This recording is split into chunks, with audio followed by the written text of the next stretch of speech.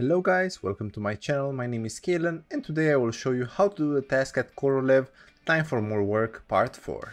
In order to do this task you will need one green backpack and one green restoration shield. In order to get the items you either might have some in the stash from previous encounters with other players or as drops from the quests, but in case you do not have any you can easily craft them. The green backpack can be printed with 2700 credits, 2 polymetallic prefabricate and 2 altered nickel. And for the restoration shield you will need 2000 credits, 2 polymetallic prefabricate, 2 bright cap mushrooms and 5 spinal base.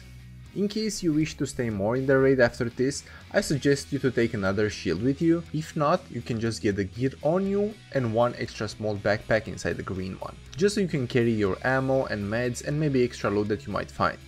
These two items will be then needed to be stashed on the Bright Sands map at the base camp location in the Gate C dead drop.